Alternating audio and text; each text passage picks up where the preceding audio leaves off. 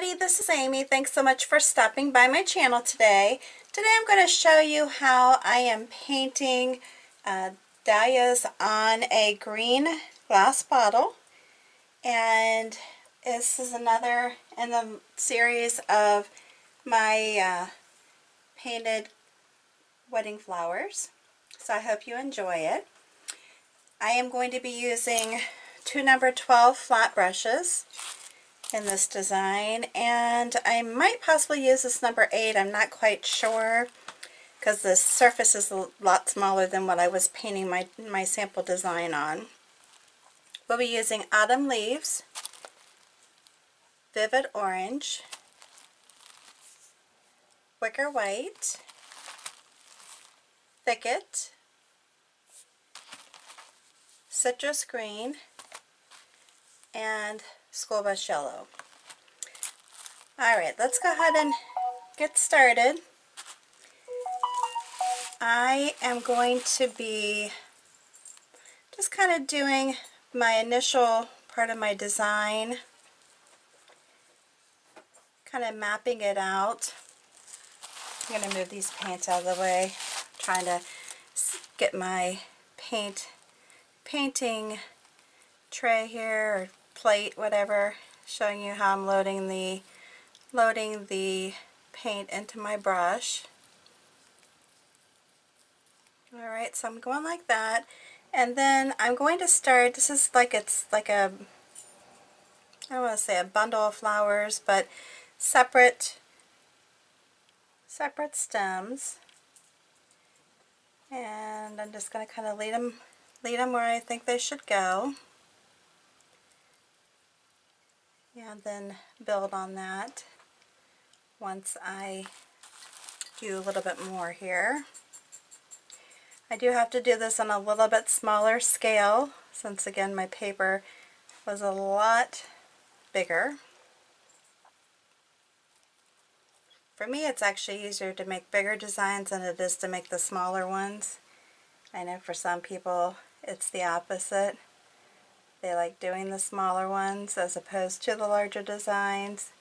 I don't know why that is for me, but anyways, on this design, I am going to be using the Vivid Orange, starting out kind of rotating and adding in some of the autumn leaves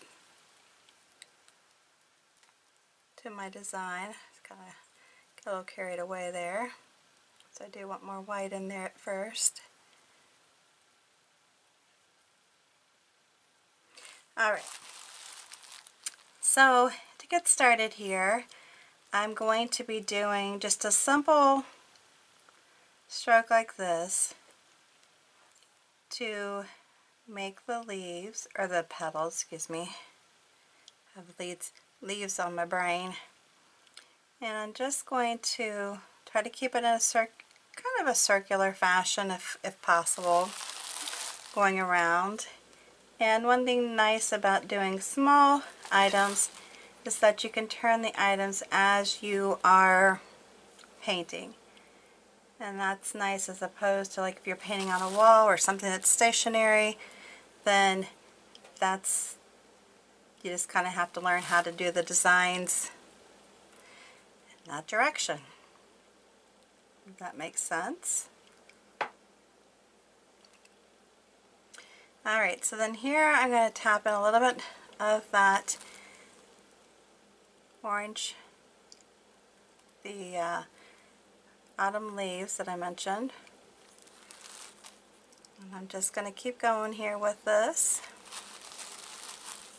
And you can make, I really I'm not going to say specifically how many layers, but whatever amount you can fit into your design as you're painting it, you know, you'll know I'm not going to say that you need to have 12 layers and you can only fit in 5. You'll know when as you're doing it. You know what works best for your painting style and the space that you have.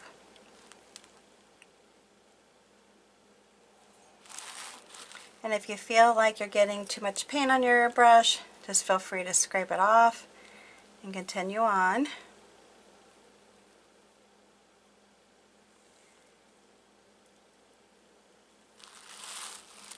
Again, I just keep adding paint and turning it.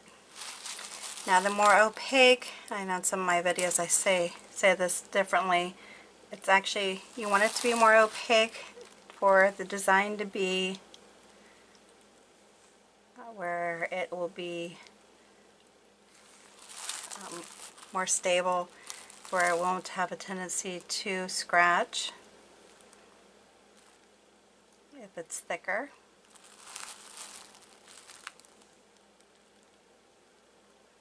And this is where I say you can always use a smaller brush if you need to as your design is getting smaller in the center.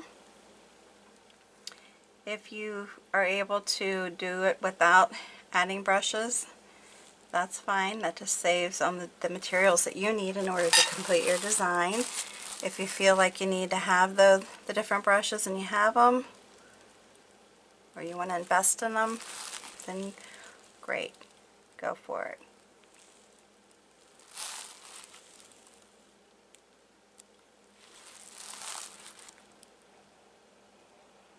And I just keep turning it. I'm making this design. And I do keep scraping my brush off. And if you can see that or pay attention to that or not but I am scraping it off as I go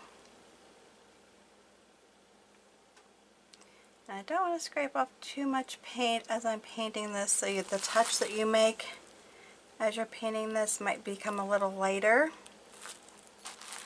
so that you're not removing paint from the bottom layers.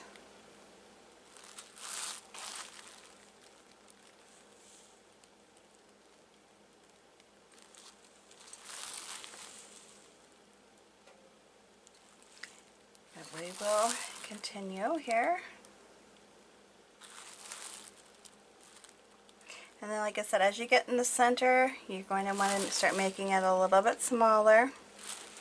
And that's one thing too where I did bring the smaller brush in for that purpose because I do want it to be a, a little bit smaller in the center and sometimes using this bigger brush will not allow me to do that and sometimes I can. So I'm going to switch over to the smaller brush for right now. It's not the only uh, center or it probably, well, no, I guess I do have another one if I can fit it on here uh, to do. Sorry, that's my phone.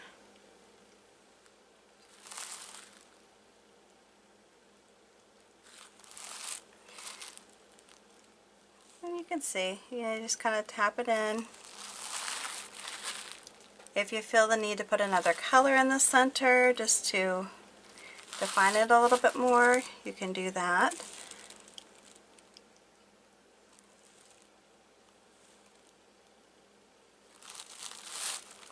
Like I can tap in a little bit of yellow in here, just use my brush to tap it in.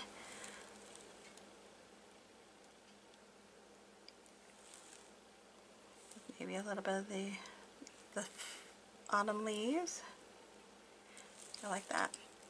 So that's kind of nice, right? Alright, so let's continue on. And I think because my space is limited, I might stick with this brush for a few of the other um, parts. And this is just basically going to be doing more like a closed,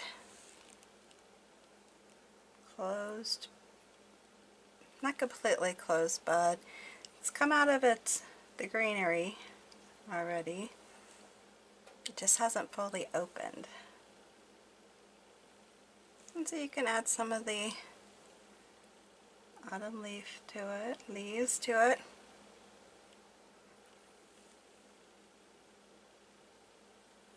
Like that.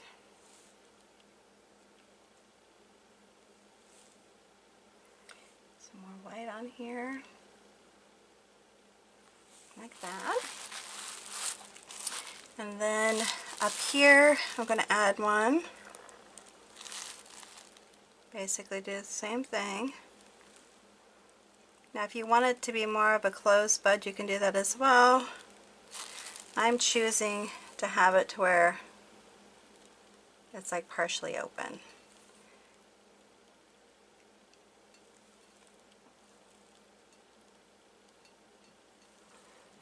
Alright, so I'm just going to keep going on here and adding my blooms.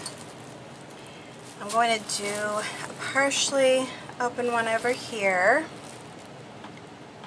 I'm sorry this is small. It's like I go from one thing to the other where I have something that's big, that's hard to show you on, or it's small and it's feel like I'm cramming my designs onto it. But in the end, it's go all good, right? In the end, it's all good. Just remember when you're painting on glass, you need to make sure that you clean your glass before painting on it. This way that will ensure that you have better um, durability, adhesion to the glass by doing that. And that's important, obviously, because you want people to be able to enjoy your designs for a long time. Once you're done, and you've baked your product, or actually once you're done painting and you want to bake your product, make sure that, oopsie, it erased up there, make sure that you allow it to air dry. I'm just going to tap very lightly here just to kind of fix that. And I apologize for my background noise that you hear.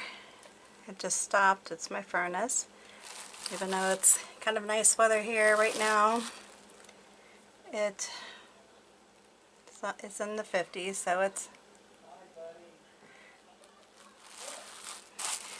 all right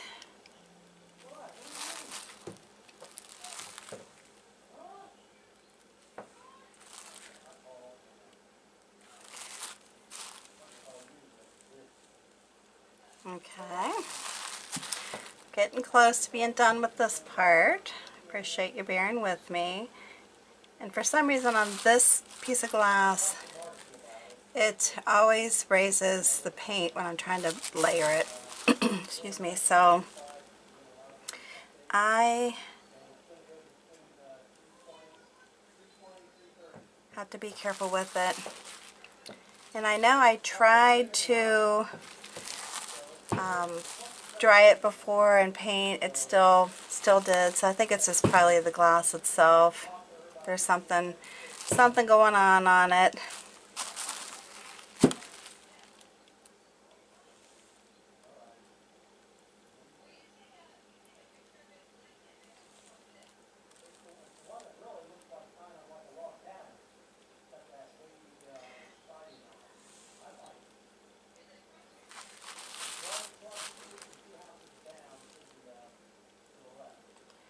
Okay. Yeah, this one's not behaving as well as I would like it. So, you know, times when you, if you have this occur, just give it some drying time and come back to it. For the purpose of this video, though, I'm going to attempt to keep trying to paint it.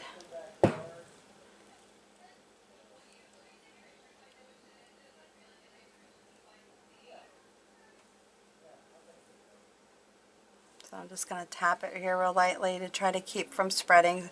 So this one's not as nice as that one, as you can see. Kind of a blooper. But that's okay. That happens, right? And I'm sorry if you hear any background noise. My husband's upstairs talking to our grandchildren. So it's kind of loud. And uh,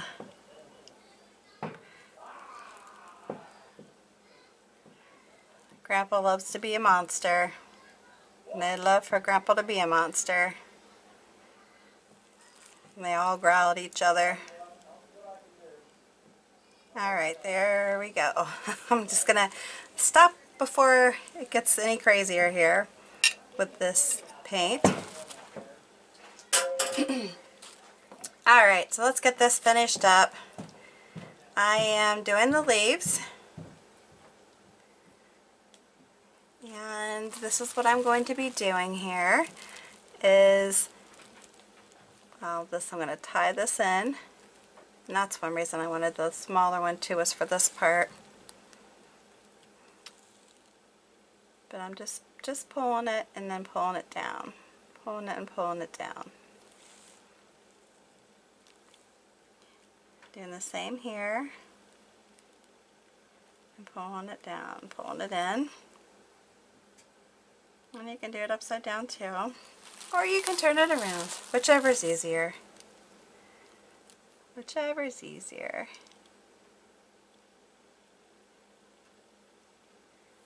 And you can reverse your brush because depending on what color you lead with as to what is the prominent color in your design. And that's why I say you can vary it, you can go back over it, whatever you want to do.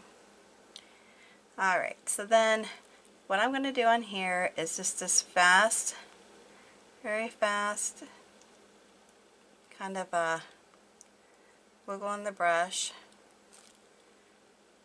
And then I can pull this around and just kind of pull through it. Do it again. Go like that. You can also, once again, turn your turn your bottle, do the wiggle, and then come through. And just continue on with this. Pretty easy. And I like to rotate from the light to the dark from the outside parts. So some of them are going to have light on the outside, some of them are going to be dark on the outside. Go like that. You can make some of them bigger, some of them smaller. It just, it's really up to you.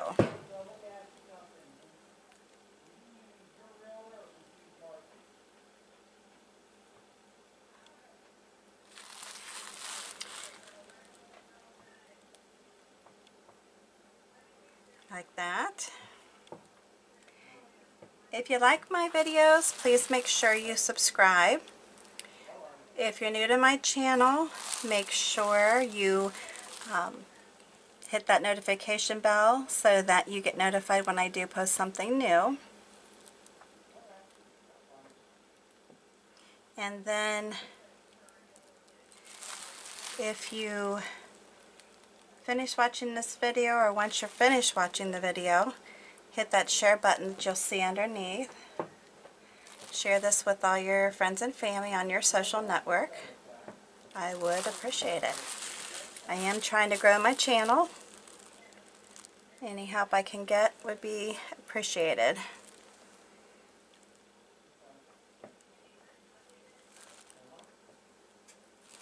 Okay. You know, and as always, anytime you're doing a design, if you, especially following me, I do a lot of leaves. If you don't like a lot of leaves, then minimize that. Definitely don't have to do exactly what I'm doing. I just like to give you my final video for the week be putting together all the wedding flowers that I've done so far. All these flowers have different meanings and when you're picking out a flower for your your wedding day it's important for you to maybe have some idea what the actual meanings are because some are real positive and then there's some that are not so positive. and I guess if you're superstitious like I can be, uh, you may want to have, you know, be using, you know, flowers and such that'll give you, or at least help you off to a good start. And for the life of me, I cannot remember what this one stands for, but I'll put it in the bottom. If you read below my video, I'll have it posted there. See this cute little, cute little uh, leaves. And there you go. There you have it. Easy peasy. Like I said, I'm sorry about this one here. You know, the glass didn't want to take it, but um, I could, you know, hit the blow dryer with it or my heat gun, whatever, you know, I use, and you know, continue on working on it. But I'm just going to call it a day and say, hey, this is awesome. I like it. It's a pretty design. I hope you like it too. And again, I appreciate you. Thanks again for stopping by. Until the next time, you have a good one.